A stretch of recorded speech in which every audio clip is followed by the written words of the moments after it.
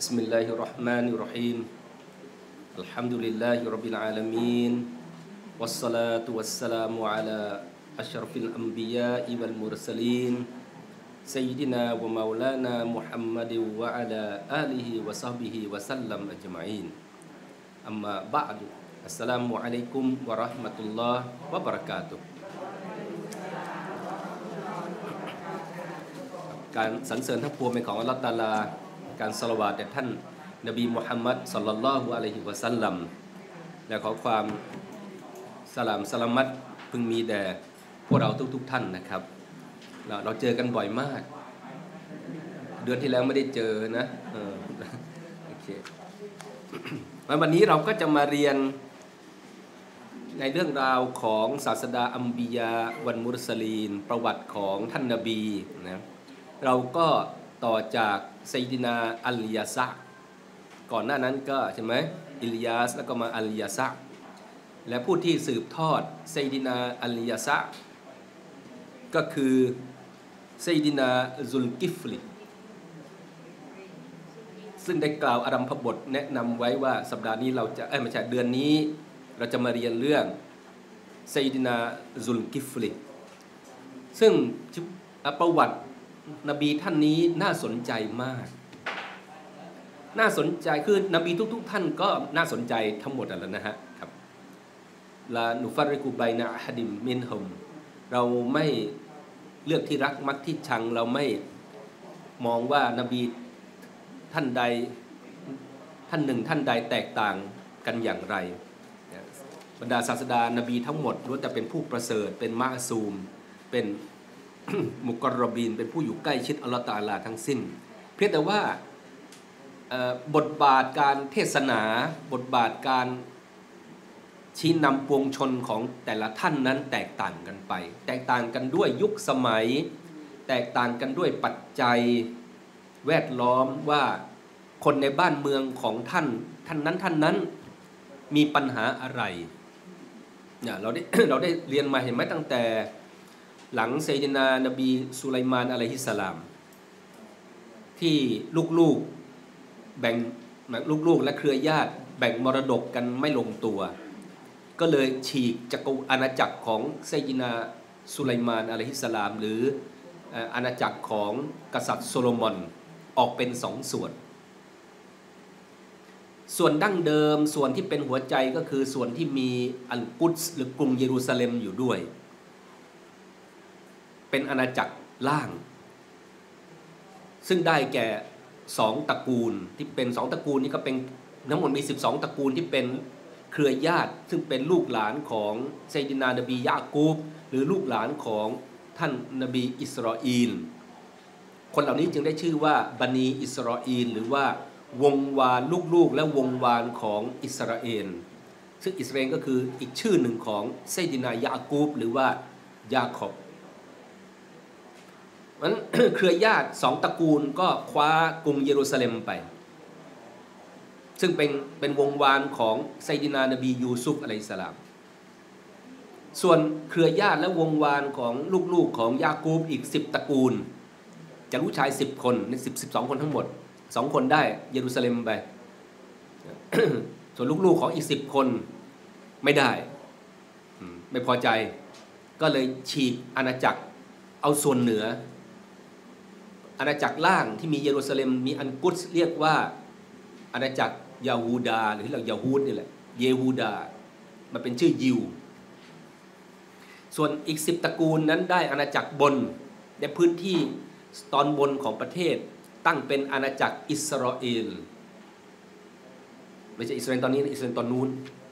แต่ปัญหาก็คือพวกพวกสิบตระกูลเนี่ยเป็นลูกหลานของคนที่เอาไซดินา นบียูซุฟอะลัยสลามไปทิ้งในบ่อ แปลกไหมมันเป็นเหมือนกับสืบสายโลหิต เหมือนกับจะไม่จะกรรมพันธุ์ก็จะแรงไปไหมแต่ว่า พวกนี้ปุยตายายเขาฆ่า นบียูซุฟมาแล้ว พยายามฆ่ามาแล้ว พวกนี้ก็มาพยายามทำลายดินแดนอาณาแผ่นดินของอัลลอฮฺตาลาอีก พอแยกอาณาจักรเหนือไปเป็นอิสราเอลปัญหาก็คือคนก็ต้องละหมาดหันไปทางกิบบละ คนในอาณาจักรเหนือก็ต้องละหมาดหันไปทางเยรูซาเล็ม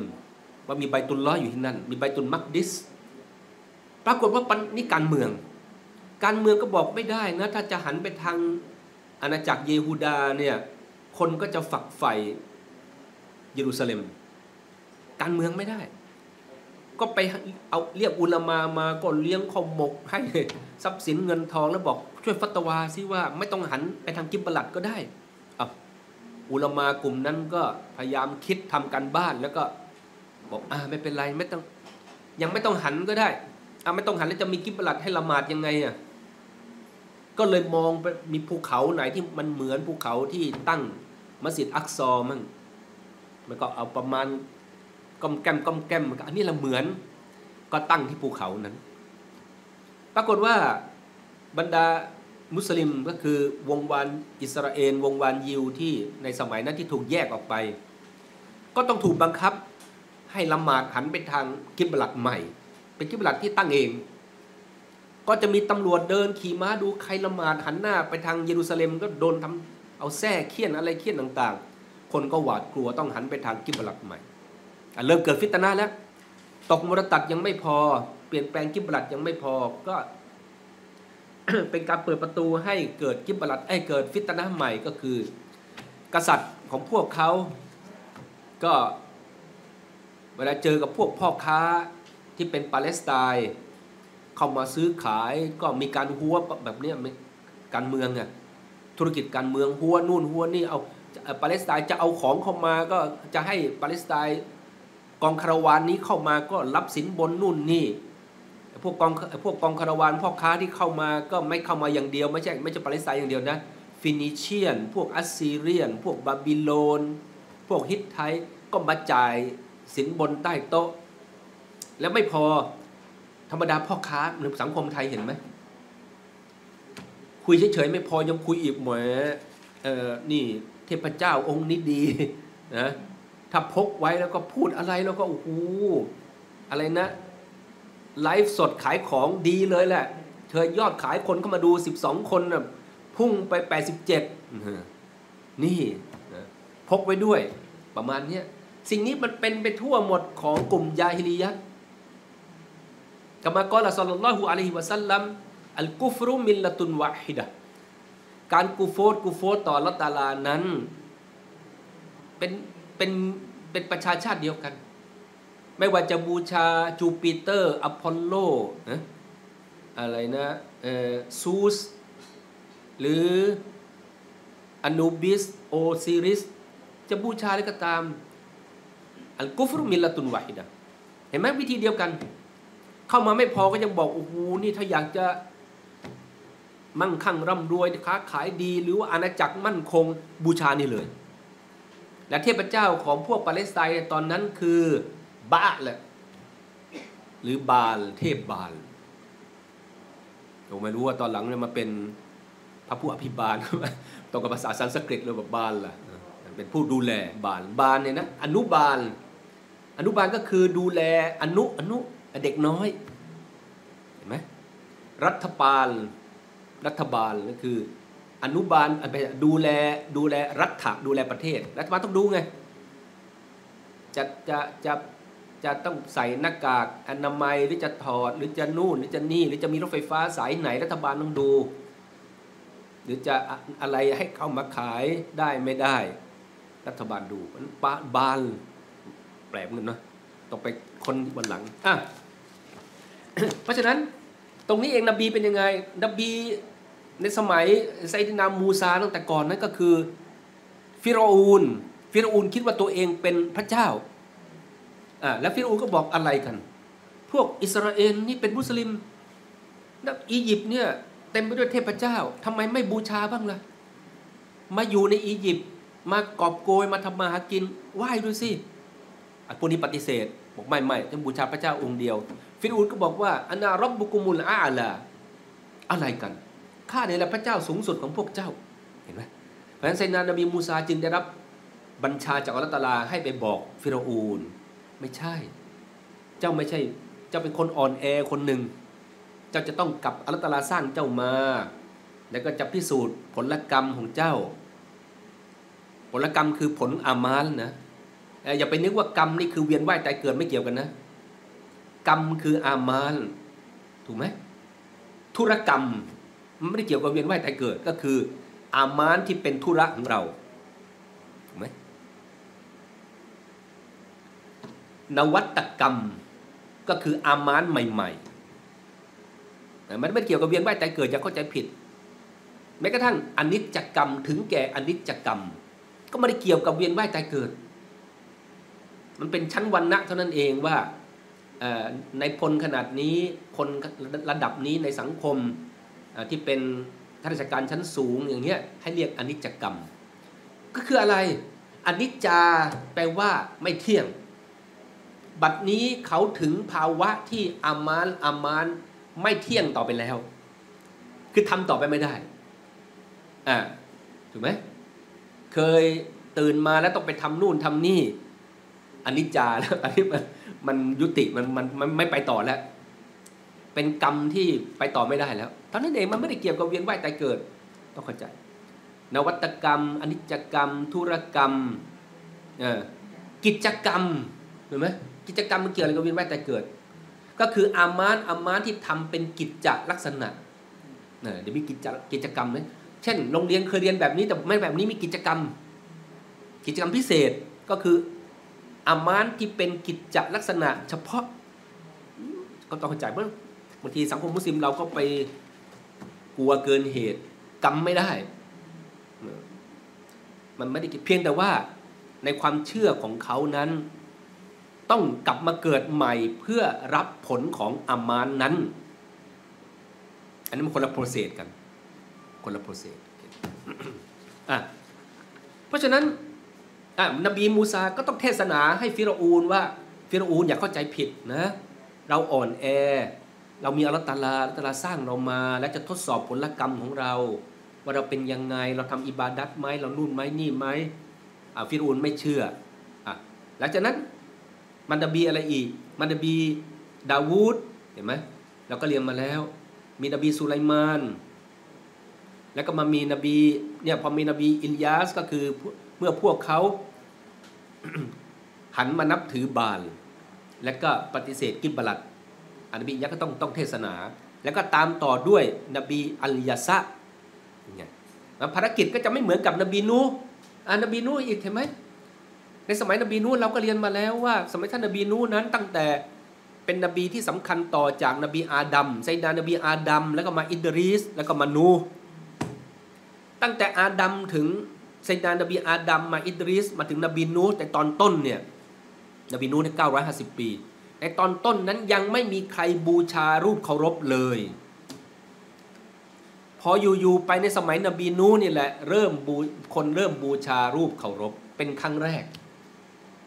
อะพอบูชาเป็นครั้งแรก อัลตลาจึงให้นบีนูเทศนาเพื่อเตือนสติ ก็เทศนาอยู่ 950 ปีทำไมนบีนูไม่อยู่ถึงพันปี นบีนูบอกว่าอัลลอฮ์400ปีเชื่อกัน3-4คนแล้วถ้าอยู่อีก50ปีจะเชื่อจะมีใครเชื่อเออไม่พอหรอกต้องอยู่500ปีอีกห้าเป็นพันห้าร้อยปีไม่เอาแล้วยังไงอะพอยุติยุติทำยังไง ยุติก็คือปิดฉาก ปิดฉากเป็นยังไง น้ำท่วมโลก ล้างครั้งหนึ่งก่อน ครั้งแรกนั้นล้างด้วยด้วยน้ำแต่ครั้งนี้ล้างด้วยไฟครั้งต่อไปอะเพราะฉะนั้นน้ำท่วมไงเห็นไหมนบีแต่ละท่านเนี่ยทุกคนสำคัญ แต่ภารกิจเนี่ยแตกต่างกัน เพราะปัจจัยและแวดล้อมแตกต่างกันอะทีนี้พอมาถึงหลังจากอัลอิลยาส นะก็มาเตือนสติว่าทำไมจึงไปหันไปบูชาบาล และทำไมจึงไม่หันไปยังกิบบลัดที่เยรูซาเล็มอังกุสก็ยังไม่ต่อเนื่องยังไม่จบก็ต้องมาต่อด้วยไซดินาอัลยาซะและอัลยาซะแล้วก็แต่งตั้งซุลกิฟลีนี่แหละอ่ามาดูนะไซดินาซุลกิฟลีนะฮุวนนบียุนมินอัมบียาอิลลาก็เป็นนบีท่านหนึ่ง ในบรรดานนบีมากมายนะแสนกว่าท่าน แล้วก็เป็นรอซูล 25 ท่าน แม้ว่าจะมีอุลามาจำนวนนิดหนึ่งที่บอกว่า เออ ไม่แน่ใจเป็นนบีไหมน่าจะเป็นคนซอนแล้วแต่ว่าในภาพรวมแล้วอัลตลากล่าวถึงซุลกิฟลีในกลุ่มนบีทั้งหลายวะซาฮิรมินติกริฮิฟิลกุรอานกรีมกามากอลลอฮุตบารุตะอาลาอาอูซุบิลลาฮิมินัชชัยฏอนิรรจีม วะซกุรอิสมาอีลวัลยาซะวะซัลกิฟลีวะกุลลุนมินัลอัคยารอัตลาตรัสไว้รวมในหมู่นบีว่า และเจ้าทั้งหลายจงรำลึกถึงอิสมาอีนอิสมาอีนเป็นลูกของอิบราฮิมลูกหัวปี และซัยยิดินาอิสฮากลูกคนที่สอง และอิสฮากนี่แหละ มีลูกชื่อว่ายะโกบ อิสฮากก็คือไอแซค มีลูกคือยะโกบก็คือจาคอบ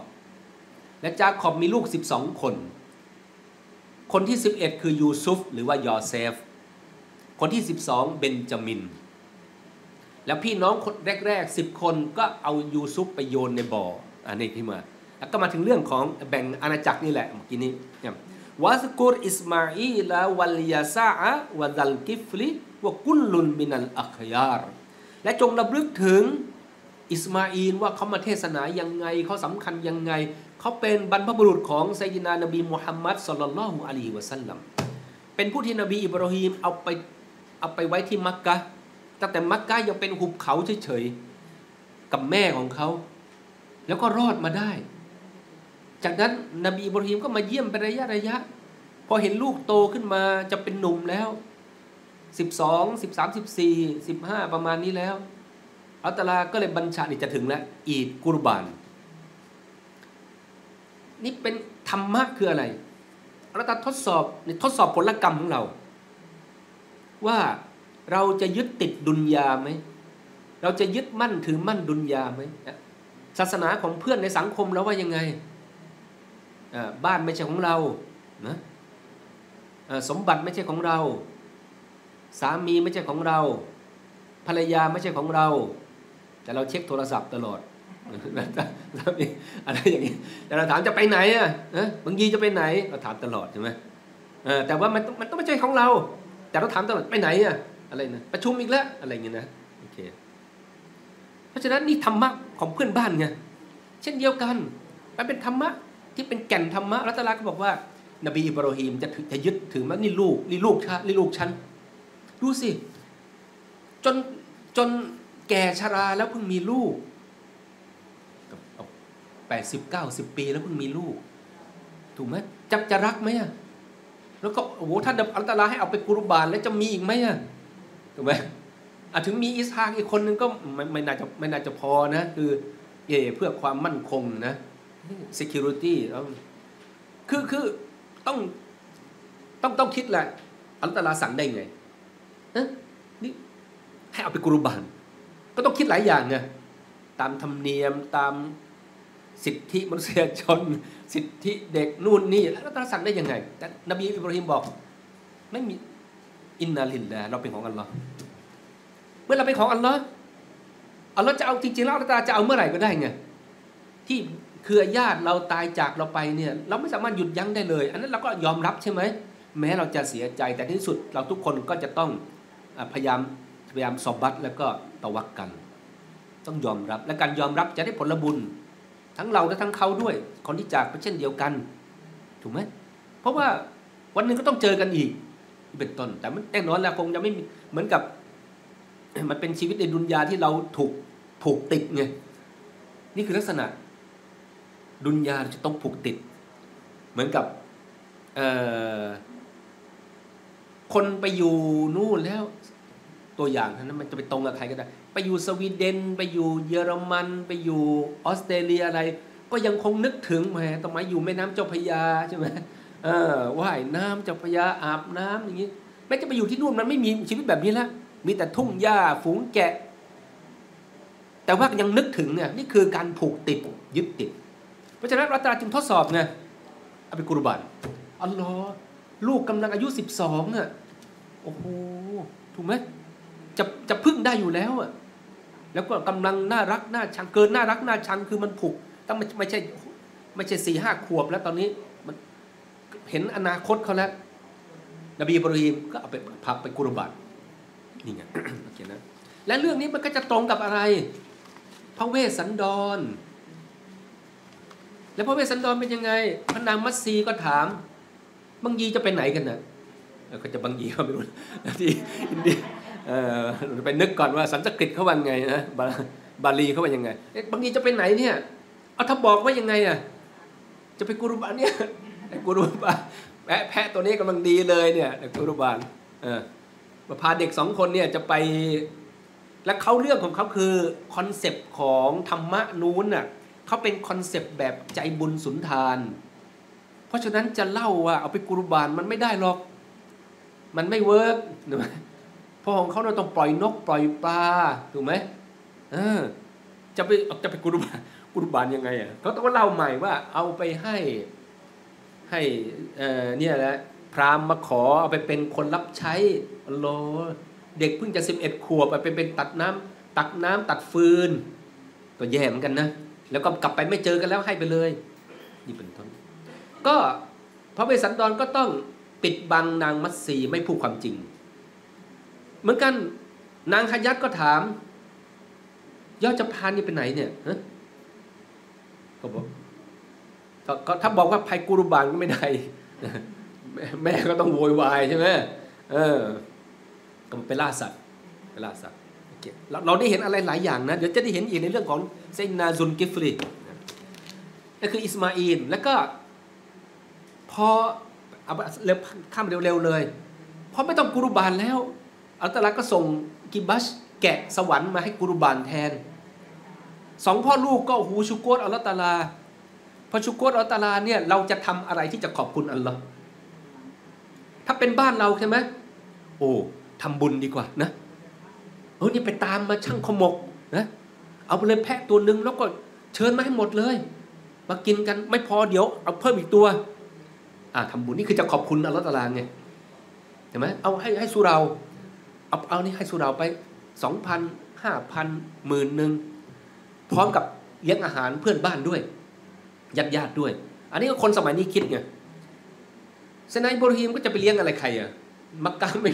มีกันอยู่บ้านแค่นี้แหละแม่ลูกสองคน จะไปเลี้ยงอาหารใครก็มีแต่แพะแกะอูดเต็มภูเขาไปหมด ก็คิดเราต้องขอบคุณอัลลอฮ์ฟื้นฟูศาสนาของอัลลอฮ์ ฟิกเกตนี่เรียกว่าฟิกเกตฟิกเกตในศาสนาของอัลลอฮ์ศาสนาของอัลลอฮ์ตอนนี้อะไรที่ยังไม่ได้ทำอะไรที่ขาดไปทำฮัจใบตุลลอไม่มีใบตุลลอมีมาตั้งแต่วันที่อาดัมไซดนานบีอาดัมลงมา ตรงนั้นแหละ แต่พอนบีสมัยนบีนูน้ำท่วมโลกอัลลอฮ์ซึนามินะเห็นไหมรีสอร์ทแพงๆยังพังเลย แล้วนี่น้ำเนี่ยสูงอย่างกับภูเขาหิมาลัยอะแล้วคลื่นอย่างนั้นอะไหลลงมากระแทกอะไม่มีอะไรเหลือครับ ใบตุลล้อพังหมด ใบตุลล้อสร้างด้วยมาลาอิกะแต่ไม่ได้เป็นสร้างแบบเนรมิต ก็สร้างก็มาเอาหินเอาอะไรบนดุนยอนี่แหละ ก่อนะแต่แรงงานมาลาอิกะมาสร้าง เพราะฉะนั้นพอน้ำท่วมในสมัยนบีนู ไปหมด แต่นบีก็เล่าต่อๆมาไงคนที่รอดมาก็เล่าให้ลูกๆหลานๆฟังโลนะปู่ย่าตายายแล้วนะเส้นนะอาดัมกับท่านหญิงฮาวานะ่ะมันตะวาฟที่นี่แหละ มาอยู่ตรงนี้นี่ทุ่งอาราฟานี่เขาเจอกันตรงนี้นบีอาดัมก็รู้ไงเราเห็นไหมเราก็ยังฟังจากปู่ย่าตายายใช่ไหมเรื่องเก่าๆนะนู้นคนนู้นเป็นอย่างนี้ญาติเราอยู่ตรงนู้นอะไรตรงนี้ โอ้เราไปดูสิมันไม่มันไม่มีแล้วอะตรงนั้นอะตรงนี้เป็นอย่างนั้น ตรงนั้นเป็นอย่างนี้มันไม่มี ห็นไหมอะเอาจินตนาการนะว่าสมัยพระเจ้าตากสินน่ะอ้าวหน้าลานพระราชวังเดินออกมา ก็ต้องมีตลาดเปิดท้ายขายของ แบกนู่นหาบไอ้นี่มาขายใช่ไหมฟักแฟงแตงกวาหมากพลูผ้าสบายมาจากอินเดียนู่นนี่ เดินเดินไปถึงมัสยิดต้นสนอะถึงมุกเกมอะมีมุกเกมมุสลิมมีแขกเทศ แขกแพรมีมุกเกมจีนมอนไอ้นู่นไอ้นี่ ทีนี้พอมาถึงสมัยรอห้ารอหกรอเจ็ดมาตัดถนนจริญพาดนะถนนอะไรใช่ไหมจำไม่ได้แล้วอาปุยตายายก็เล่านี่ตรงนี้จากนี่นะถนนเจริญพาดเนี่ยมีกูดีใช่ไหมกูดีเจ้าเซนน่ะนี่เดินมันเป็นทุ่งไปหมดเลยทุ่งนั้นเห็นหลังคามัสยิดต้นสนเลย ตอนนี้นึกไม่ออกแล้วแบบนี้เป็น ไม่ต้องอะไรหรอกเนี่ย แถวแถวทับช้างอะพอตัดตัดถนนมอเตอร์เวย์อะด่านทับช้างอะมุกเกมเปลี่ยนไปหมดถูกไหมเคยเดินถึงกันได้ เคยพายเรือถึงกันได้ตอนนี้ เป็นคนละคนละกลุ่มแล้วเพราะถนนมอเตอร์เวย์ขวางไว้ อันนี้เป็นประมาณนั้นอะแต่คนก็จะให้ฟังเคยมีตรงนี้ตรงนั้น เช่นเดียวกันนบีอิบราฮิมก็จำได้ไงรู้ไง สิ่งที่จะขอบคุณอัลลอฮฺตาลาดีที่สุดก็คือ สร้างใบตุลล้อขึ้นมาใหม่ ก็เลยมากับลูกชายบอกมามาช่วย ช่วยพ่อลูกนะช่วยกันสร้าง ก็ยืนบนก้อนหินใช่ไหมแล้วลูกชายก็ส่งนบีบราฮิมเป็นผู้ใหญ่กว่าก็ก่อปูนเอาหินวางขึ้นมา ความบรากัดและหินเนี่ยรับรู้ และความปราบปลื้มของก้อนหินนั้นที่ได้รับเกียรตินี้ จึงอ่อนตัวลงจนกระทั่งรอยเท้าของอิบราฮิมนั้น จมกดจมลงไปในก้อนหินนั้น ประหนึ่งที่เขาเอามือปั๊มลงไปบนดินน้ำมันอย่างนั้น นี่คือมะกอมมะกอมอิบราฮิมอัตลาก็กล่าวในกุรานณที่นั้นมีมากอมอิบราฮิมซึ่งเป็นสัญญาณกับมนุษยชาติ เพราะว่าคนทั้งหมดนั้น ทุกศาสนานั้นสืบมาจากอิบราฮิมอะลัยสลามศาสนาทั้งหลายเนี่ยนะเกิดมาตั้งเมื่อ2,500 ปี หลักๆกันนะ ที่เป็นชื่อศาสนา 2,600 ปี แต่ไซดนานบีอิบราฮิมอะลัยสลาม 4,800 ปีคือ 5,000 ปีครับ ไม่มีใครก่อนอิบราฮิมอีกแล้ว และทุกคนจึงมาจากอิบราฮิมเลยสลามไม่ว่าจากการแต่งกายการโกนศีรษะ นะการครองเอียฮรอมนะนุ่งผ้าสองชิ้น นุ่งผืนหนึ่งห่มผืนหนึ่งสบงกับจีวรมีสองชิ้นครับ เมื่อเมื่อถือเมื่อเข้าบรรพชาเข้าเข้าทำฮัทห้ามใส่รองเท้าหุ้มส้นคนที่บวชเนี่ยเขาบวชเขาใส่หุ้มส้นไม่ได้ครับ บาทหลวงใส่ได้ ไม่เหมือนไง คริสตศาสนาเหมือนอิสลามเฉพาะชื่อนบี นบียูซุฟ นบียากูบนะนบีอิสฮากนบีมูซา ชื่อชื่ออย่างเดียวที่เหมือน ฟังดูเหมือนเรื่องเหมือนแต่ว่านัยยะนัยยะที่เป็นธรรมะพุทธศาสนาเหมือนอะไปทำฮัทผู้ชายโกนศีรษะนะ่ะจะเว้นเป็นจุกได้ไหมเหมือนฮินดูได้ไหมไม่ได้ครับ ต้องโกนทั้งหมด พระโกนศีรษะเว้นจุกไว้ได้ไหมไม่ได้ โกนคิ้วไม่ไม่ได้เป็นธรรมวินัยนะ โกนคิ้วนี่เป็นเป็นบัญชาของกษัตริย์สมัยกรุงศรีอยุธยา เพราะว่าเวลานิมนต์พระเข้ามา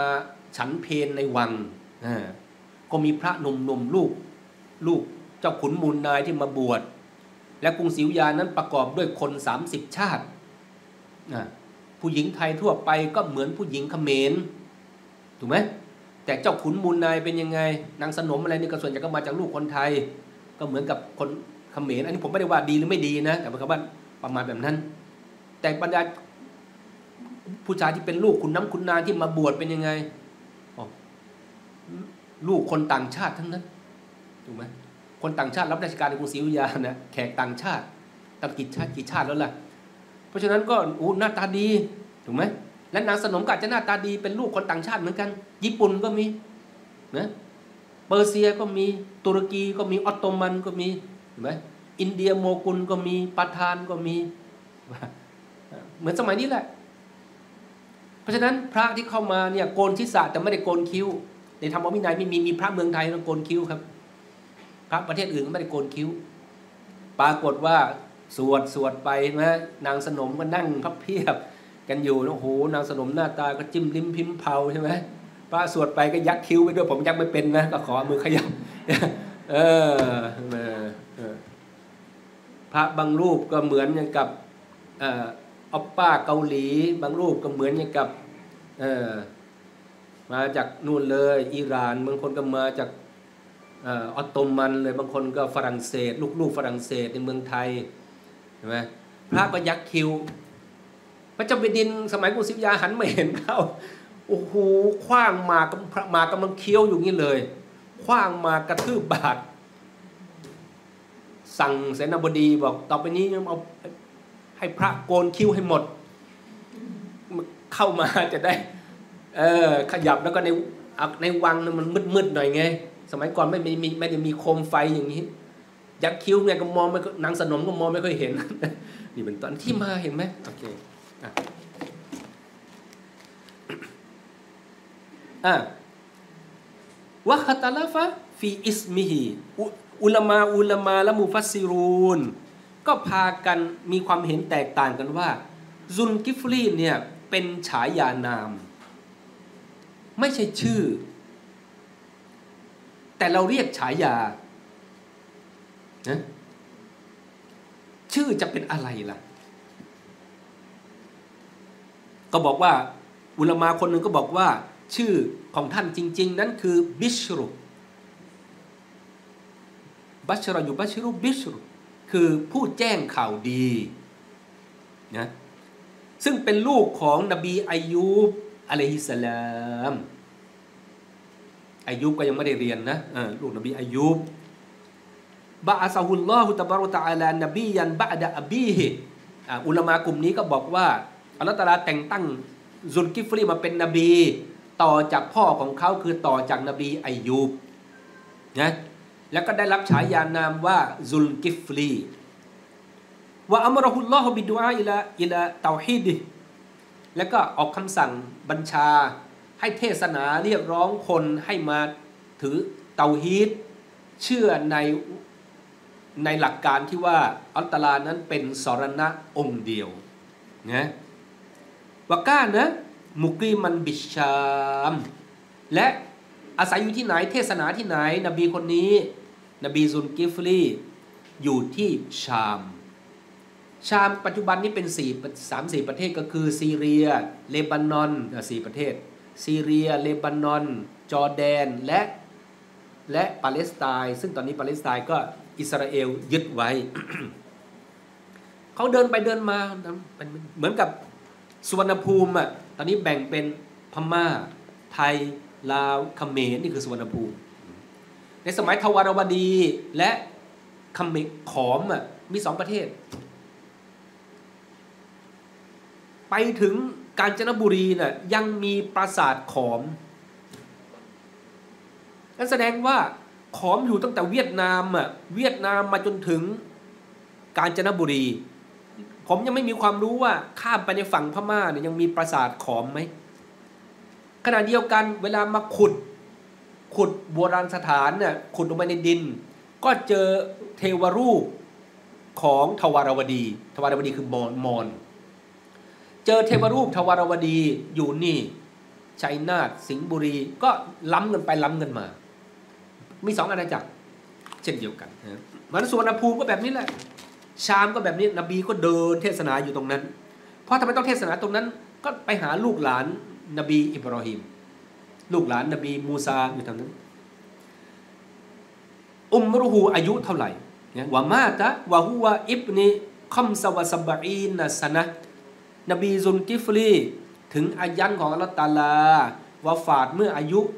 75 ปี ว่าเอาซออิลาอิบนิฮิอับดาน แล้วก็แต่งตั้งให้ลูกรับหน้าที่สอนศาสนาต่อลูกชื่อว่าอับบดาน อันนี้คือในในอุลามาตับเซตกลุ่มหนึ่งนะอะต่อไป ชื่อของท่านคืออุลามาอีกคนนึงก็บอกว่า เมื่อกี้บอกชื่อบิชรแต่คนนี้บอกว่าชื่อของท่านคืออินยาสบินยาซีน เพราะฉะนั้นในคุรานก็จะมี سلام على على آل ياسين ขอความสันติสันติมีแด่ลูกหลานวงศ์วานของยาซีน ซึ่งก็จะรวมซุนกิฟรีไปด้วยนะอะคืออินยาส บุตรของยาซีน บุตรของฟันฮาส บุตรของอีซาดบุตรของฮารูนฮารูนใครพี่ชายนบีมูซา เห็นไหม เพราะฉะนั้นซุนกิฟรี ซุนกิฟลีเป็นลูกยาซีน ยาซีนเป็นลูกฟันฮาส ฟันฮาสเป็นลูกอีซาดอีซาดเป็นลูกฮารูน ฮารูนพี่ชายนบีมูซาعليه السلامอ่าเข้าใจและฮารูนกับมูซาก็สืบไปเป็นลูกหลานเหลนโหลนของยูซุฟวากีลาอิสมูฮูเออแต่เรื่องแปลกเริ่มมาแล้ว อุลามาอีกคนบอกว่า ได้ค้นพบหลักฐาน ในรายงานอื่นว่า ชื่อของเขาฉายเป็นฉายาซุนกิฟลี แต่พ่อของเขาคือ บูดี โอ้แปลกมาก เพราะในภาษาอาหรับเรียกศาสนาพุทธว่า บูดีอืมเดี๋ยวจะจะได้เห็นนะต่อไปนะวากีละ ฮุวอัลยาซะบินอัคโตบบินอายุสโอเคอีกคนนึงบอกว่า ชื่อคืออัลยาซะแต่ว่าคนละคนละนบีอัลยาซะคนละคนوزعم اليهودแต่พวกยิว พวกอิสราเอลในศาสนายูดา บอกว่าท่านเขาไม่ได้เรียกท่านว่าซุนกิฟลีเขาเรียกท่านว่าฮัสกิยาลหรือภาษาไทยเราเรียก คนคนคริสต์เขาเรียกว่าเอเซเคียลภาษาสดาเอเซเคียลอัซฮัสกิยาลนะวะจาอาหูอันนูบูวะวะฮูวะฟี และเป็นนบีตอนไหนคืออย่างนี้ต้องเล่านิดหนึ่งเมื่อกี้นี้พอนบีสุไลมานวาฟาด ลูกหลานเครือญาติแบ่งมรดกไม่ลงตัวสิบตระกูลที่เป็นญาติ ฉีกดินแดนออกไปสร้างอาณาจักรอิสราเอล สองตระกูลที่เป็นลูกหลานเครือญาติ คว้าส่วนที่เป็นเยรูซาเล็มเอาไว้ คว้าไบตุลลอฮ์ไว้ ตั้งเป็นอาณาจักรเยฮูดา อาณาจักรยาฮูดอาณาจักรบนตั้งเป็นอาณาจักรอิสราเอลอาณาจักรอิสราเอลตกมุรตัด เปลี่ยนกิบบลัด แล้วก็นำเอาเทพบาลเข้ามาบูชา ไปแห่ลากเอาเทพบาลมา เทพบาลมาตั้งไว้กลางตลาด ให้ผู้คนใครจะเข้าออกก็ต้องบูชาบวงสรวง อยู่ได้ไม่นานอัลลอฮ์ตะอาลาลงโทษ นบีมาแล้ว นบีอิลยาส นบีอัลยาซะนะพอนบีซุนกิฟรีกำลังเทศนาเทศนาอัลลอฮ์ตะอาลาลงโทษ ให้อาณาจักรอัสซีเรียน คือซีเรียปัจจุบัน ยกกองทัพกรีธาทัพมา บุกเข้ายึด ฆ่าฟันผู้คนเผาบ้านเผาเมือง บ้านแตกสลายขาดอาณาจักรนั้นล่มไปไม่มี ไปเป็นทาสอยู่ในอัสซีเรีย อาณาจักรล่างอาณาจักรแห่งเยรูซาเล็ม แห่งอังกุสเยรูซาเล็ม เหลืออยู่ต่อมาอีก 500 ปีพออยู่ต่อมาอีก 500 ปี บาบิโลน คืออิรักปัจจุบัน บาบิโลนเคลื่อนพลมายึดอันกษัตริย์ของบาบิโลนในตอนนั้น ชื่อว่าภาษาไทยเราก็เรียนหนังสือไทยเรียนว่า นาบูคัตเนซา ภาษาอาหรับเรียกว่านาบัคตนัสรเหมือนคนชื่อنصرٌ นี่แหละ نصر ชัยชนะ นัสรุมินัลลอฮ์อิซาจาอันนัสรุลลอฮ์นัสรนาบัคตนัสรยึดยึดเยรูซาเล็มได้ขณะ ขณะที่ท่านเนี่ยกล่าวกันว่าท่านมาถูกจับมาตอนนี้แหละ อันนี้ก็ก็ฟังข้อมูลไว้นะ แล้วก็ถูกจับเอาไปที่บาบิโลนคือที่อิรัก ณตอนนี้เองท่านจึงได้รับแต่งตั้งให้เป็นนบี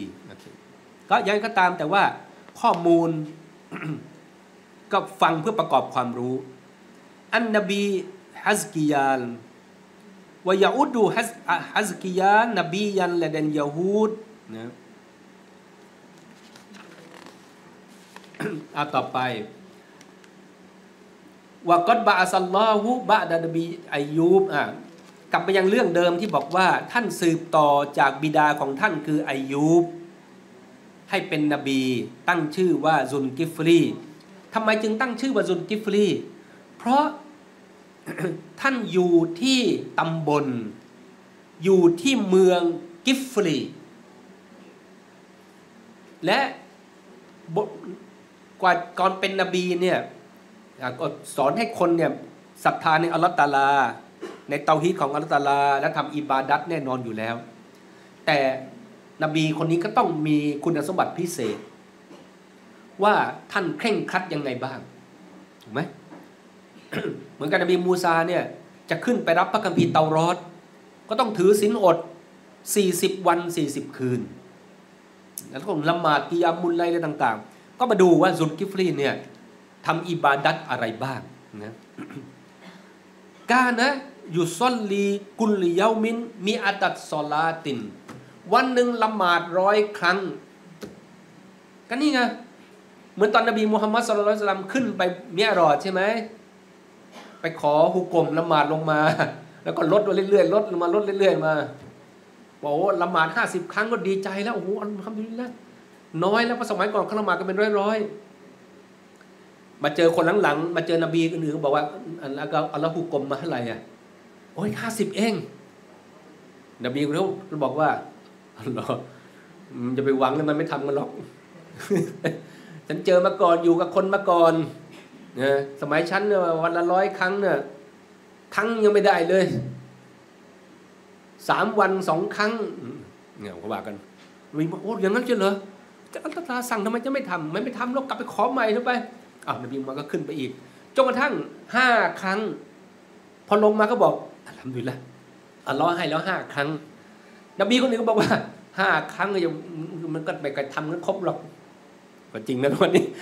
ทุกวันนี้ทุกวันนี้เราก็เห็นกันอยู่นะโอเคอะ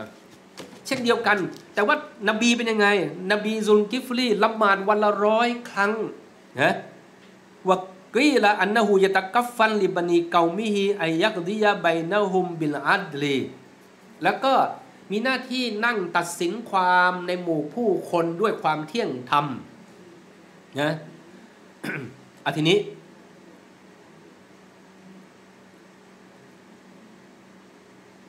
ในศาสนายาฮูดา ศาสนายิว ก็เรียกท่านอีกชื่อหนึ่งว่าอีลียา หรือนบีอีลียานะครับเอากี่ชื่อแล้วนะมีจดจดเมื่อกี้นะไปย้อนดูนะ ต่อไป อันนี้สำคัญ อันนี้อาจารย์อนัสไม่ได้บอกให้เชื่อ แต่อาจารย์อนัสกำลังบอกว่านักวิชาการ เขาตับเซตตับเซตวิเคราะห์ไว้อย่างไร ซุนกิฟลีเนี่ยแปลกมาก ว่าพระองค์คือนบีท่านนี้คือพระพุทธเจ้าเป็นยังไงดูสิبوذا من بعض علماء منتصف القرن العشرين เริ่มมีอุลามาอุลามาที่อธิบายกุรอาน เมื่อ ห้าสิบปีที่แล้วيرى أن النبي ذو الكفل منسوب إلى كفل ว่านบีซุลกิฟลีเนี่ย มาจากเมืองกิฟิล ซึ่งกิฟิลนั้นเป็นภาษาอาหรับภาษาอันกุรอานมันเราเรียกเราเรียกอะไรนะ นันกุรอานเรียกฟิรดาวส์ถูกไหมฟิรดาวส์สวรรค์ชั้นฟิรดาวส์ดาวส์ ในศาสนาพราหมณ์ฮินดู สวรรค์ชั้นอะไร ดาวดึงส์ ดาวดึงดึงสะนี่มีสอเสือการันนะ ดึงดาวส์คือไปถึงชั้นดาวส์ฟาราดาวส์อันกุรอานเรียกฟิรดาวส์ภาษาบาลีสันสกฤตเหลือแค่ดาวส์ชั้นในวิมานชั้นดาวสะดาวดึง เดาสะมีสอมีสอเสือการันไปดูได้เขาการันไม่การันไม่ทำไม เพราะรากเดิมออกเสียงคนไทยไม่ออกไงเสียงอินเดียคนไทยไม่ออก คนไทยเราจะไม่กันจะเสียงเป็นเป็นแขกว่าอย่างนั้นถูกไหมอะภาษาอังกฤษเรียกสวรรค์ว่าไง paradise paradise ก็คือ f a r a d a u s อันเดียวกัน เพราะฉะนั้นเช่นเดียวกัน เวลาภาษาอาหรับจะเรียก paradise ภาษาอาหรับก็ต้องเรียก f i r a d a u s เพราะฉะนั้นภาษาอาหรับเรียกกิฟลีมาจากอะไรมาจากพยายามที่จะพูดกับปิละภาษาอาหรับไม่มีปอปาครับ แล้วผมก็งงมากพอผมได้เริ่มตอนผมเป็นนักเรียนที่อินเดีย ผมก็อ่านข้อมูลนี้เหมือนกัน แล้วทีนี้เราเป็นนักเรียนอินเดียนะ เป็นนักเรียนก็ยากจนไงกว่าสตังจะมาเดือนหนึ่งเนี่ยสตังไม่ได้มาเดือนหรอก มาเอาสี่สิบวัน มันต้องล่าล่าไป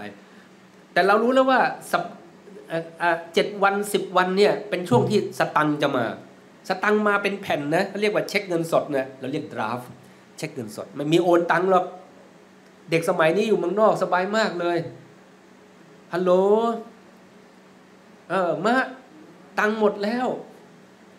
มีคนหนึ่งนะ ตอนนี้มีมีไลน์ใช่ไหมไลน์ใช่ไหมไม่โทรหรอก ผมก็อยู่ในไลน์กลุ่ม เขาก็ไม่ติดต่อพ่อเขาโดยตรง แต่เขารู้ว่าพ่อเขาอยู่ในคุยอยู่ในกลุ่มนี้ และเขาก็เป็นสมาชิกกลุ่มนี้เขาถ่ายรูปสตังค์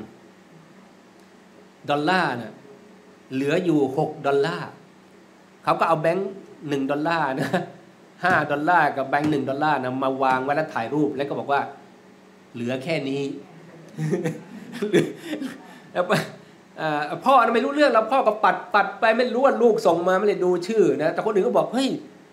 ไอ้ลูกชายส่งมาเนี่ยไหนไหนไหนเหลือหกดอลลาร์ที่ว่าเหลือหกดอลลาร์ก็คือ ใช้ไม่ได้วันสองวันเนี่ยนะวันนึงก็หมดแล้วพ่อจะได้ส่งมามันสมัยนี้ก็คืออะไร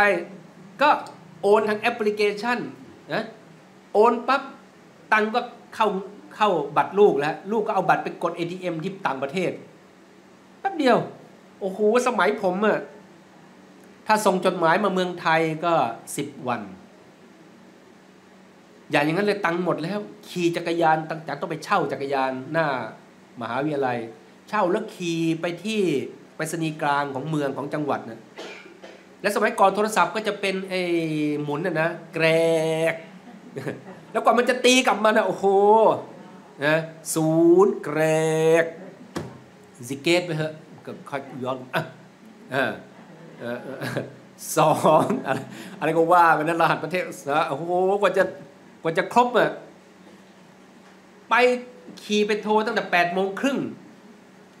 เที่ยงครึ่งยังต่อไม่ติดเลย ไปกินอะไรก็ไม่ได้ เดี๋ยวคนอื่นแซงคิวมีคนรอคิวอยู่นั่น เอาถามเจ้าหน้าที่เขาทำไมมันไม่ติดเลยเขาบอกว่า ยังเกี่ยวไม่ติด ยังเกี่ยวไม่ติดกว่าจะได้ตังค์พอทางนี้รับใช่ไหมเอาเอารับคนอื่นแล้วกันใช่ไหมสมัยก่อนใครรับก็รับสายก็ฮัลโหลอ้าวหมดแล้วเหรอกว่าพอเขารู้ว่าตังค์หมด กว่าจะวางสายโทรศัพท์ ไม่ได้แล้ววันนี้พรุ่งนี้เขาค่อยมาธนาคารธนาคาร อยู่ท่าน้ำราชวงศ์ เอ่อพารัตโอเวอร์ซีพารัตะโอเวอร์ซีซื้อเช็คเงินสดนะสมมติว่าห้าร้อยบาท หรือเจ็ดร้อยบาท ส่งไป ซื้อเสร็จก็มาใส่ซอง ใส่ซองไปไปรษณีย์ไปรษณีย์ไปอินเดียอีกแปดเก้าวัน ใช่ ทีนี้ผมก็เลิกเรียนปั๊บไปรษณีย์เขาก็จะมาตอน หลังละหมาดซุฮรีแหละเด็กก็จะกลับจากโรงเรียนใช่ไหมจากมหาลัยใช่ไหมอยู่ตามหอเขาก็เดินมาโอ้โหจดหมายเป็นปึกเลยเขาเด็กมาเลเซียน่ะชื่อซุนกิฟรีที่ผมจำได้ แล้วฮินดูเนี่ยเขาเป็นบัณฑิตก็คือเป็นพราหมณ์ปรษณีเป็นพราหมณ์เขาพูดแบบแบบตัจวีตไม่ได้ซีนเซนรอไซอะไรพูดไม่ได้ไซอะไรไม่ได้ทั้งสิ้นนะเพราะฉะนั้นเขาเรียก ซุลเนี่ยซุลกิฟลีเขาเรียกซุลก็ไม่ได้ เรียกยุล ส่วนกิฟลีเนี่ยเขาเรียกยุลกิฟลีกับปิลลียุลกับปิลลีผมก็โอ้ไอ้ที่อาจารย์เขาสอนว่ามากิฟลีมาจากกับปิลละเนี่ยอันเดียวกันเลย กับปิลละทีนี้ทำไมไปเกี่ยวอะไรกับกบิกบิลพัสดุ์กบิลพัสดุ์มาจากอะไรครับ มาจากพัสดุ พัสดุแปลว่าอะไร สิ่งของ สิ่งของหรือชาวเมือง ชาวกับปิละ แล้วซูคืออะไร ซูแปลว่าสิ่งของและเจ้าของครับซูกับปิละ ชาวกับปิละ เจ้าของกับปิละกัปปิละพัสดุพัสดุของกัปปิละกลับกันแปลกไหมเห็นนะแล้วเราจะได้เห็นเรื่องราวนะแต่ว่าอาจารย์นั้นไม่ได้บอกเป็นคนเดียวกันนะ เพราะว่าเวลามันต้องโอ้โหหลายพันปีนะมันก็แต่งเติมเสริมแต่งไป แต่แต่งเติมเสริมแต่งเป็นเรื่องของคนทีหลังนะจริง ๆ แล้วเรื่องราวก็อาจจะมีนิดเดียว แต่พอมาถึงอินเดียนะคนโอ้โหยาวอะทีนี้ แล้วก็พระพุทธเจ้านั้น ตัดสรู้ที่ใต้ต้นโพใช่ไหมต้นโพเนี่ย เป็นต้นไม้ในทางพฤกษศาสตร์เนี่ยตระกูลเดียวกับอะไรตระกูลเนี่ยสำคัญหญ้าเนี่ยเป็นต้นหญ้าหญ้าเนี่ยเป็นตระกูลเดียวกับต้นไผ่ไผ่กับหญ้าเนี่ยอันเดียวกันตั้งแต่เล็กสุดไปจนกระทั่งไผ่ตรงเป็นหญ้าครับ ไม่ใช่ไม้เต็งอะไรทั้งสิ้น เพราะฉะนั้นต้นโพในทางพฤกษศาสตร์ ชื่อทางพฤกษศาสตร์ เป็นตระกูลเป็นไม้พันธุ์เดียวกันกับมะเดื่อมะเดื่อนะคือ อัตตีน วัตตีนิวัไซตูนวตูริซีนีนวะฮาดัลบาลดินอามีน จงให้ความสำคัญจงพินิจพิจารณาจงไต่ตรอง ในบทบาทของนบี แห่งวัดตีน และก็วัดไซตูน ไซตูนคือมะกอก มะกอกคือพระเยซู เพราะชาวคริสต์บอกว่า พระเยซูเมื่อเสด็จเข้าถึงกรุงเยรูซาเล็ม อัลกุสทรงเป่าประกาศให้ผู้คนมาฟังคุตบะ มาฟังคำเทศนาที่ภูเขาต้นมะกอกวันท่านยืนอยู่ภายใต้ร่มเงาของมะกอก และเทศนา เพราะฉะนั้นท่านจึงเป็นนบีแห่งต้นมะกอก ไหมวัตีนวัซตูนวัตูดิซีน และภูเขาตูรไซนายก็คือเมื่อนบีมูซา ขึ้นไป 40 วัน 40 คืน เพื่อรับพระบัญญัติ 10 ประการอยากเตารอดเอาไปหมดแล้วนบี พระเยซูไปแล้ว นบีมูซาไปแล้วภูเขาตูรไซนายวาฮาซันบัลดินอามีน และเมืองอันสงบสุขนี้คือมักกะอันนบีมูฮัมมัดไปแล้ว แล้วต้นต้นมะเดื่อคืออะไรอะ ในเมื่อมะเดื่อเป็นต้นไม้ตระกูลอย่างกับต้นโพใครอะนบีคนไหนอะที่อยู่กับต้นมะมะมะเดื่ออยู่กับต้นโพนี่เป็นต้น ทีนี้ผมก็ตอนนั้นผมก็ไปอาหรับบ่อยนะสมัยนั้นไปประเทศอาหรับบ่อยไปอยู่สิบกว่าประเทศ ผมก็เริ่มความคิดนี้บอกว่าต้องไปดูให้ได้ หรือไปอาหรับหลายครั้งแต่ไม่เคยสังเกตว่ามีต้นโพไหมแต่ไปอินเดียแล้วก็โอเค ต้นโพมีแต่ว่าอาหรับจะมีไหมต้นโพ ก็เก็บนี่เป็นการบ้าน พอตอนนั้นตอนนั้นครั้งนั้นก็ไปเลบานอน ไปออกรายการโทรทัศน์อาหรับที่เลบานอนพอออกรายการโทรทัศน์เสร็จ รอขึ้นเครื่องบินอีกสองวันเขาก็ให้ให้สบายและเสรี เดินจากโรงแรมก็คุณจะไปเดินที่ไหนก็ไปเที่ยวเดินเที่ยวในเมือง ผมก็เดินไปตามตรอกซอกซอยแล้วก็ฟุตปาดจะดูว่ามันมีต้นโพไหมก็ไปต้นไม้ที่ฟุตบาทเขาปลูกต้นฟุตเขาปลูกต้นไม้กลางฟุตบาทกลางฟุตบาท ก็ไปดูโอ้นี่มันต้นโพนี่ใบโพตกลงเลบานอนมีต้นโพ แต่ต้นโพเขาไม่ได้ใหญ่อย่างนี้นะเขาเหมือนกับต้นไม้ที่ที่ที่กทมปลูกร่มประมาณแค่เนี้ยเส้นผ่าศูนย์กลางสองสามเมตรเท่านั้นแหละ แต่ก็ใบแน่นเออแน่นหน้านั่งนะน่านั่งร่มดีอะไม่ใช่ว่าโอ้โหแดดก็เปรี้ยงแล้วก็ใบหลงเหลงหลงเหลงไม่ใช่ของเขาแน่นมากอะเลบานอนมี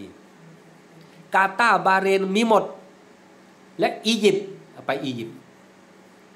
จะไปบรรยายให้นักศึกษาไทยที่อาซาฮัดฟัง ก็ไปกันคณะหลายคนสี่ห้าคน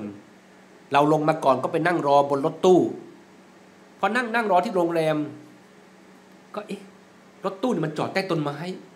ต้นใหญ่มาก ต้นอะไร ต้นโพอียิปต์ก็มีต้นโพ อ่าเพราะฉะนั้นตรงเราไม่ต้องสงสัยด้วยใช่ไหมอุ้ยอาดัมเป็นไม่ได้เราอาดัมไม่มีต้นโพไม่ใช่นะนะทีนี้นั่งใต้ต้นโพเนี่ยทางเมืองทางนี้เขาบอกว่า ตัดสรู้เองถูกไหมแต่ถามว่า ในเรื่องราวเนี่ยมาลาอิกะได้มาระหว่างที่ยังคนไม่พบมาว่า เอปฏิบัติอิบาดัตเนี่ยจะปฏิบัติยังไง ถือบวชกันไม่กินเลยจนกระทั่งผอมอย่างเงี้ยหรือจะเดินแบบสายกลางดี มาลาอิกาจึงมาดีดพินไงองค์หนึ่งมาดีดพินสายหย่อน ก็ไม่เป็นโลเป็นพาย อีกองค์ก็มาขึงสายตึง พอดีดปั๊บสายก็ขาดเปลี่ยง อีกองค์หนึ่งมาขึงสายพินพอดี พอดีดปั๊บก็เป็นจังหวะจะโคนไพเราะ อันเนี้ยมันเหมือนกับลงวะฮีนะแล้วก็ไปเรื่องนบีมูฮัมมัดสุลลัลสลัมตรัสไปในฮะดีษว่าไง ท่านพูดเป็นฮะดีษว่าไงวะฮีที่ลงมาเนี่ยลงมายังไงวะฮีที่ลงมานั้นนะหนึ่งเป็นสัญญาณเหมือนกับสัญญาณโทรศัพท์นี่เป็นสัญญาณ สัญญาณ สัญญาณ และแปลงสัญญาณเป็นเป็นเป็นถ้อยคำสอง วะฮีที่ลงมาประหนึ่งโซ่เหล็กขนาดใหญ่ ลากบนโขดหินหินหินแน่นๆนะหินแกรนิตแน่นๆลากบนโขดหินกึ่งกึ่งกึ่งกึ่งกึ่งกึ่งกึ่งกึ่งกึ่งกึ่งกึ่งมันเหมือนเสียงเสียงสายพินเหมือนกันเพราะฉะนั้นมันมีอะไรบางอย่างนี่คือการรับวะฮีขึ้นมา และในเรื่องราวว่าพระโคตมะสิทธัตถะนั้น ก่อนที่จะรับวะฮี ได้ไปที่แม่น้ำมีคนเอาอาหารมามาฮัดียะเห็นไหมใส่ถาดมาฮัดียะผู้หญิงเนี่ยทำอาหารมาฮัดียะแล้วอาหารที่กินน่ะคือข้าวมัทุปยาตข้าวมัทุปยาตเป็นขนมที่กินทั้งในอินเดียและอาหรับ นบี นบีมูฮัมมัดสุลลัลสลามโปรดปรานขนมนี้คือดัซีรใช่ นบีมูฮัมมัดกับโคตมะพุทธะ รดปรานขนมแบบกินขนมแบบเดียวกัน นั่นก็คือเอาข้าวบดเนี่ยมาหุงกับนม และก็เนยและใส่น้ำผึ้งลงไป ส่วนจะใส่ถั่วใส่งาก็คือข้าวกวน ใช่ที่เป็นต้น อาหรับกินทุกวันนี้ อาหรับกินนบีมูฮัมมัดสุลตัมกินขนมนี้ ใช่ข้าวมัทุปายาตมัทุแปลว่าพึ่งหวานไงมัทุรสเนี่ยรสน้ำผึ้งมาดูรัส คนไทยไม่ได้มาพูดไปอินเดีย มาดูรัสมาทุรสทีนี้พอพระพุทธเจ้ากินหมดแล้ว กินมือข้าวกวนเนี่ยที่กวนในน้ำผึ้งและนมเนี่ยกินหมดแล้ว ก็ตั้งนียัตว่าข้าแต่อัลลอฮ์หากว่าข้าพเจ้าจะได้รับวะฮีหรือว่าได้รู้ถึงธรรมะนี้ โปรดให้ถาดนี้ลอยทวนน้ำไป เอ้า แล้วแล้วคุณคุณวิงวอนกับใครอะเข้าใจที่คุณบอกขอให้ถาดลอยทวนน้ำมีเรื่อง ถ้าคุณไม่มีพระเจ้าอะคุณจะขอกับใคร แล้วคุณจะขอกับกับพูดผีปีศาจเหรอคุณจะขอกับอะไรนะ อะไรอะไรนะ ผีต้นไม้เหรอนี่แหละที่มีนักวิชาการที่ไม่ใช่มุสลิมนะ บอกว่า พระโคตมะโคดมนั้นมีพระเจ้า แล้วก็ที่บอกว่ามีเพราะว่าเราไม่ได้รู้เราไม่ได้เรียนลึกซึ้งและผมผมผมสอนศาสนาเปรียบเทียบมาก่อนผู้รู้ในประเทศไทยนั้นอ่อนมากครับ เขารู้อะไรเห็นไหมเวลาเขาเขาชะรอบรรยายศาสนาไม่มีเรื่องอะไรละเอียดนะมีแต่เรื่องว่า ก็อย่าไปอย่าไปถือสานะอย่าไปโกนอย่าไปคือมัน ไปฟังที่เราพูดจะลึกถึงมากของเขาไม่มีอะไรอะเพราะเขาจึงไม่เข้าใจเข้าใจในเรื่องชรีอะห์อัลตลาประทานมักอซิดชรีอะห์แก่นบีอาดัมอะลัยฮิสสลาม เมื่อนบีอาดัมลงมายังดุนยาเนี่ยอิบลิสตามลงมารังควานอัลตลาจึงประทานศาสนาลงมา คือประทานชรีอะห์ลงมา เพื่อให้นบีอาดัมใช้ชริอะนี้แยกแยะผิดชอบชั่วดี ชาริอะนี้คุ้มครองอาดัมและลูกหลานอาดัมไม่ให้มาล่อลวงในห้าด้านด้วยกันเฮบซุนเราเรียกว่ามากอซิดชาริอะเป้าหมายชาริอะอัลกุรอานทั้งเล่ม เปิดอายะไหนก็ได้ ใน 6,600 กว่าองค์การ บางองค์การอยู่ในข้อหนึ่งบางองค์การอยู่ในข้อสองห้าข้อด้วยกัน ข้อหนึ่งก็คือเฮบซุนนับส์คุ้มครองชีวิต ไม่ให้เราซอเลมเบียดเบียนกันในเรื่องชีวิตสองเฮบซุนมานไม่ให้เราเบียดเบียนกันในเรื่องทรัพย์ จะซื้อจะขายจะแลกเปลี่ยนเห็นไหมแลกเปลี่ยนพอแลกเปลี่ยนไปแล้ว เรารู้สึกเสียใจอ๋อเหรอเอาของไม่ดีมามาแลกกับเราถูกไหมอะก็จะเกิดความเป็นศัตรู ความรักความต่างๆ ก็จะจางหายไป มารก็จะเข้าแทรกทันที เพราะฉะนั้นชริอะกับ แลกอะไรเปลี่ยนอะไร ลงทุนอะไร หยิบยืมกันยังไง ถูกไหมที่เขาเรียกว่าอะไรนะหยิบยืมไปแล้วก็จำกันไม่ได้อะไรเงี้ยติดต่อไม่ได้อะไรอย่างนี้ต้น เพราะต้องทำสัญญาไว้นี่คือสองเฮบซุนนับคุ้มครองไม่ให้ไม่ให้ซอเลมกันในเรื่องชีวิตเฮบซุนมานไม่ให้ซอเลมซอเลมกันในเรื่องทรัพย์เฮบซุนอักลิไม่ให้ทำลายปัญญาสติ ฮบซุนนัซัลไม่ให้ทำลายวงตระกูล เพราะฉะนั้นผิดเพศผิดประเวณีอะไรเนี่ยผิดกามอะก็ฮิบซุนสี่ฮิบซุดดีนไม่ให้ทำลายศาสนาตัวเองนะห้าข้อนี้เป็นมรดกที่เพื่อนบ้านเราคว้าไว้ได้นิดหน่อยจากศาสนาของนบีอาดัมอยู่ในศีลห้าครับ แต่เขาอธิบายง่าย ๆ เป็นยังไง เออพระคุณเจ้าคะชริอะข้อหนึ่งว่ายังไงเออก็อย่าไป อย่าไปฆ่าสัตว์ไง ของเราไม่ใช่ฆ่าสัตว์อย่างเดียวนะ อย่าซอเลมชีวิต เห็นไหมกุรุบานจะเชื่อดเนี่ย อย่าให้สัตว์ตกอกตกใจ ผมตอนเป็นนักเรียนมีมีครอบครัวที่เป็นพ่อบุญธรรมที่อินเดีย ไปอยู่กินนอนที่บ้านเขา เขาเป็นเศรษฐีเขาเอาแพะนะ แพะสามตัว เดินขึ้นเดินลงในบ้าน แล้วก็นอนกับหมอนกับเจ้าของนอนกับหมอนนอนกับเจ้าของคนอินเดียเขากินง่ายนอนง่ายแม้จะรวยยังก็ตามเขาก็เอาเอาเอาหมอนมาวางแล้วก็นอนแพะก็นอน แพะกุรุบานเนี่ยใส่พวงมาลัยสวยใช่ไหมแล้วก็ย้อมสีนู่นนี่ แพะก็ตัวขาว ย้อมสีน่ารัก กินอยู่กับเขา ตื่นเช้าวันกุรุบานแพะยังไม่รู้เรื่องเลยเขาก็จับแพะนอนลงนะจับขาแพะก็เออโอ๊ยทำไมวันนี้ทำไมวันนี้หยอกหยอกแรงจังเลยนะแพะยังงงงท่ามกลางขณะที่แพะงงงอยู่เขาก็แพะไม่ได้เห็นมีดนี่คือเฮบซุนนับซึยาโซเลมชีวิตเขา เขาไม่รู้ตัวเลย เพราะทันทีที่ ที่หลอดลมไม่มีลมไม่มีไม่มีลมมาเลี้ยงสมอง อากาศเลี้ยงสมองเขาก็ไม่รู้สึกตัวแล้วครับจะไม่ใช่ว่าโอ้โหโกลาหลเตะทีบทุบกันมาวัวควายร้องกันกระจองงองแงอันนั้นคือ อันนั้นธุรกิจ ของเราคือเชือดกินเองอันลึกเบื้องต้นนี้ก่อน ไม่ใช่ธุรกิจแบบนิวซีแลนด์หรือว่าไอ้บริษัทใหญ่ ๆ ที่เขาเอาเอาวัวควาย เป็ดไก่เชือดกันเป็นวันละเป็นร้อยเป็นพันตัวนั่นมันธุรกิจ แต่ของเราคือเชือดกินตามอยู่บ้านใช่ไหมอ่าวันนี้เชือดไก่ใช่ไหมแล้วพรุ่งนี้ก็เก็บน้ำพงน้ำพริกกินไหมเราเอาวันวันที่สามสี่เอาปลาเค็มมากิน วันที่ห้าเอาเนื้อเค็มมากินเอาวันที่หกเอาไปเอาเป็ดมาเชือด คือนานๆทีไงมันเดิมแบบแบบนี้โอเคอะเพราะฉะนั้น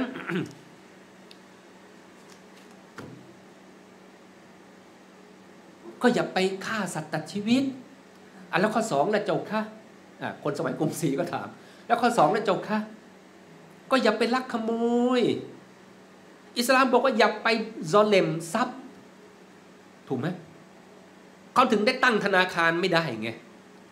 เพราะเขาแค่ลักขโมย ทุกวันเนี้ยไอ call center ที่โทรมาอ่าคุณมีพัสดุตกค้าง กดเกดไปตังหมดเลย ดูดตังเราไปหรือกดไปใช่ไหมว่าอ่าสรรพากร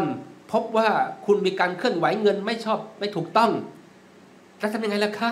เฮ้ไม่ถูกต้องทํำยังไง ก็ถ้าสมมติว่าเป็นข้าราชการเกษียณ ถ้าคุณครูจะจะบทจะพิสูจน์นะคุณครูก็โอนเงินมาให้เราตรวจสอบว่าเงินที่เนี่ย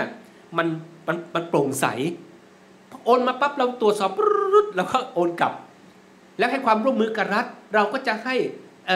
ให้เหรียญตราเครื่องราชโอ้โหก็เป็นข้าราชการมาก่อนใช่ไหมโอ้โหในความร่วมมือกับกับภาครัฐนี่มันต้องได้เหรียญตราไงโอ้ก็ต้องเกษียณมาก็ได้โอ้ได้เพิ่มครับได้เพิ่มอีก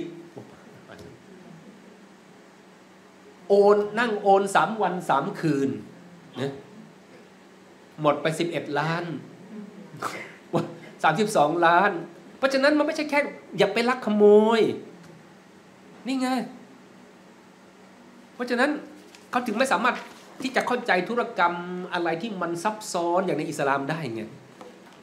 เพราะเขาสอนยังไงเพราะฉะนั้นกลับมาดูว่า เพราะฉะนั้นไม่ต้องสงสัยเลยว่า เอ๊ะอาจารย์ แล้วจะเป็นองค์เดียวกันยังไง สอนไม่เหมือนกัน เพราะว่าคนสอนในในในในแถวเนี้ยเขาไม่ได้อันเลมอะไรเยอะแยะ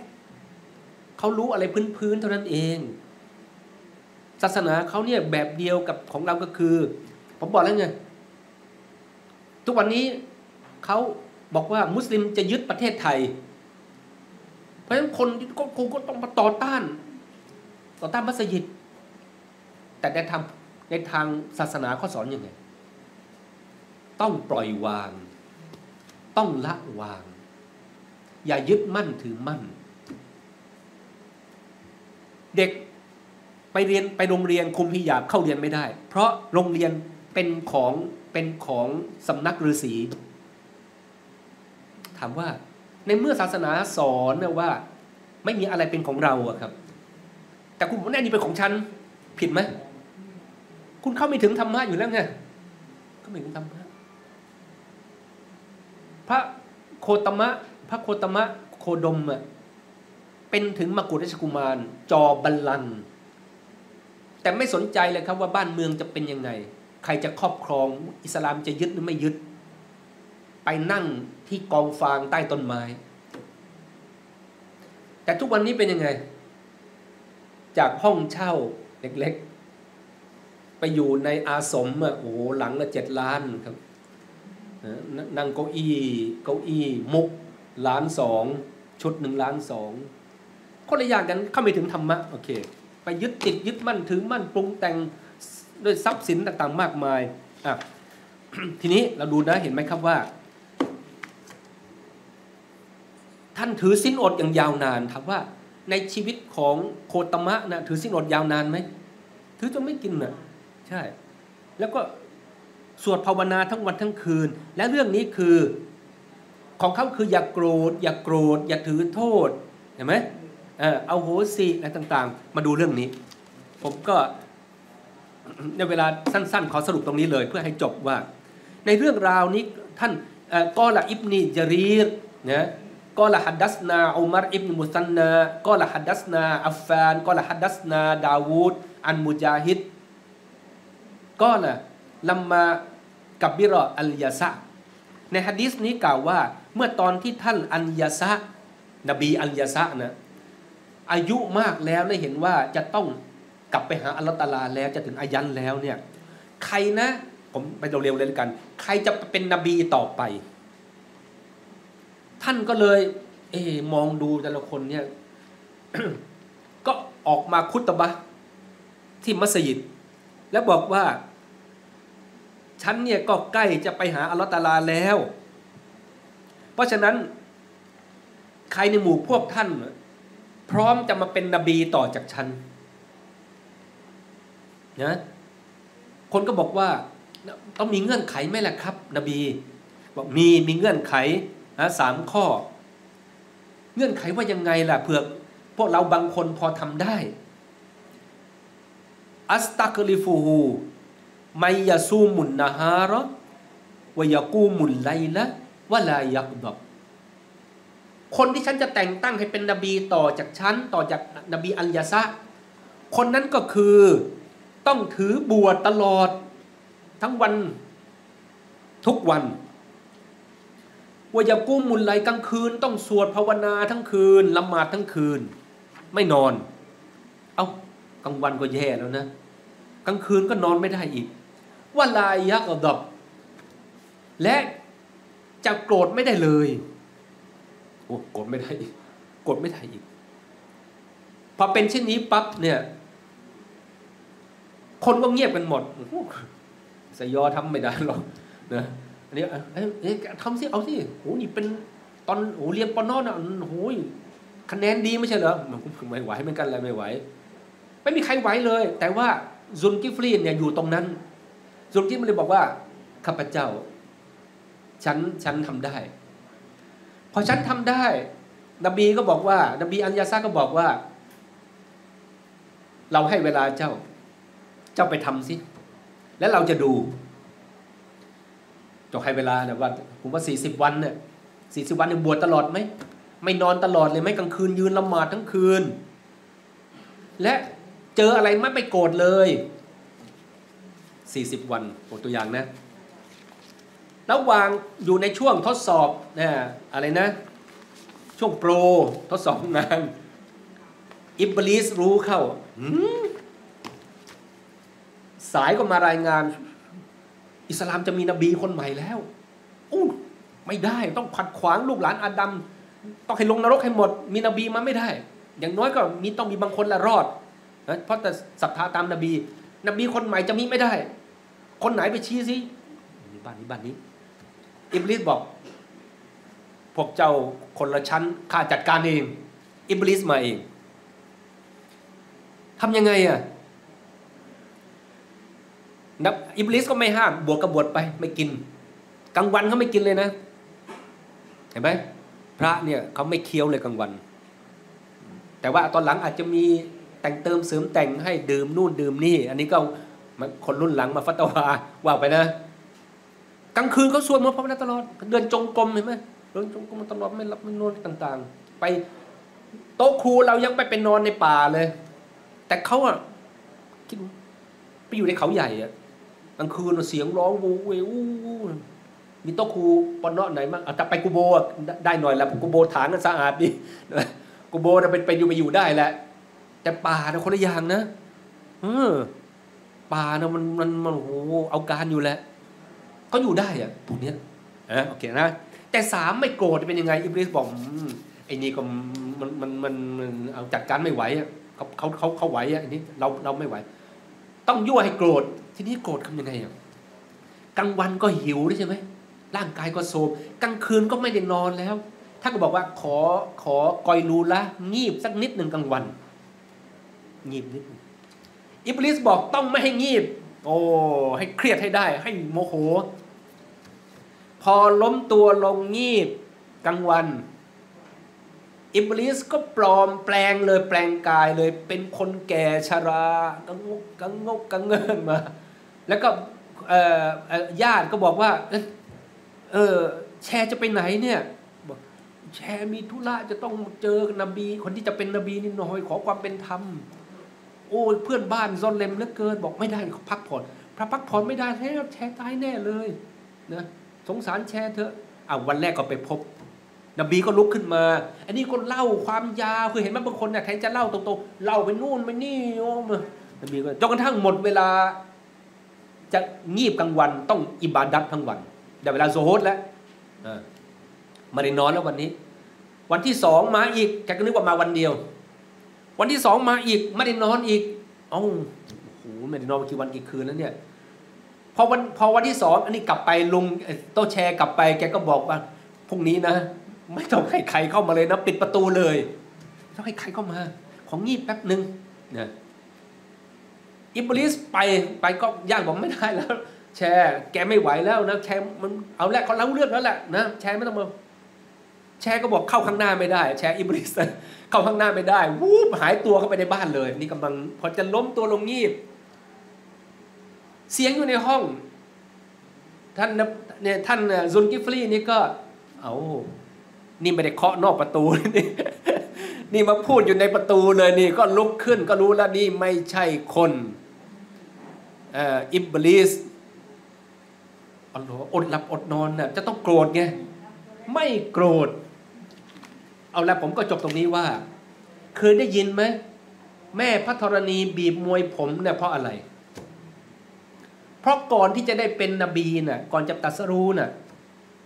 บรรดาพยามารน่ะแห่กันมาขัดขวางครับ แต่ของเขาเนี่ยต้อง soft soft ไง ปล่อยนกปล่อยปลา นบีอิบราฮิมเนี่ยจะเอาลูกไปกุรบานน่ะอิบลิสมาขวางหน้าขวางหลังใช่ไหมไม่ให้ทำใช่ไหมนบีอิบราฮิมจึงเก็บก้อนกรวดขว้างไปที่เราไปขว้าง เรามายามาร้องไงอของเขามันดูไม่ได้ดูรุนแรงนะเพราะฉะนั้นอันนี้ก็นั่งเอติกาไปนะไม่ใช่อันนี้ท่านก็นั่งเอติกาไป แล้วแม่พระธรณีก็จึงมาปล่อยน้ำให้ท่วมมารตายหมดอะซอฟไหมไม่เกี่ยวไง เพื่อนบ้านทำให้ มือที่สามจัดการ อันนี้ก็เหมือนกันมารแห่มาเพื่อป้องกันไม่ให้ได้เป็นนบีมาขวาง ท่านก็โกรธไม่ได้ เพราะฉะนั้นผมคิดว่านะ เรื่องราวนี่มันก็แต่งเติมเสริมแต่งกันไป จากเดิมอาซอนนะนบีสุดสุดกิฟรีนะมีแค่นี้แหละก็เสริมเติมแต่งกันไปจนกระทั่งเอาแล้วก็ขอ ไม่ได้ยืนยันว่าเป็นคนคนเดียวกัน แต่ให้เรารู้ว่า ธรรมะและสัจธรรมในโลกนี้ มีเพียงอันเดียวและมาจากอัลลอฮฺตาลา แต่วันเวลาที่ผ่านไปมนุษย์ก็แต่งเติมเสริมแต่ง ไม่ต้องเรื่องอะไรหรอกไซดินานบี อีสาอิสลาม อัลมาซีพระมาซีฮาน่ะเป็นบุตรนางมารยมมาซาลูฮูกัมมิสลูอาดัมอัลตลาสร้างอีซามาก็เหมือนก็สร้างอาดัมจากดิน ไม่ต้องมีพ่อ ถูกไหมก็เรื่องราวทุกวันนี้เป็นอะไร เป็นลูกของอัลลอฮฺตาลาไปซะแล้ว ก็ไม่ต้องแปลกใจว่าวันเวลาที่ผ่านไปนั้น ทำให้ซุลกิฟลีนั้นเปลี่ยนแปลงไปอย่างไรไปอย่างไร ก็ขออัลลอฮ์ได้ทรงصلوات แก่ سيدنا نبي محمد صلى الله عليه وسلم وعلى سائر الأنبياء والمرسلين صلوات الله عليهم أجمعين ورضي الله تبارك وتعالى عن سائر الصحابة والتابعين سبحان ربك رب العزة عما يصفون وسلام على المرسلين والحمد لله رب العالمين. والسلام عليكم ورحمة الله وبركاته.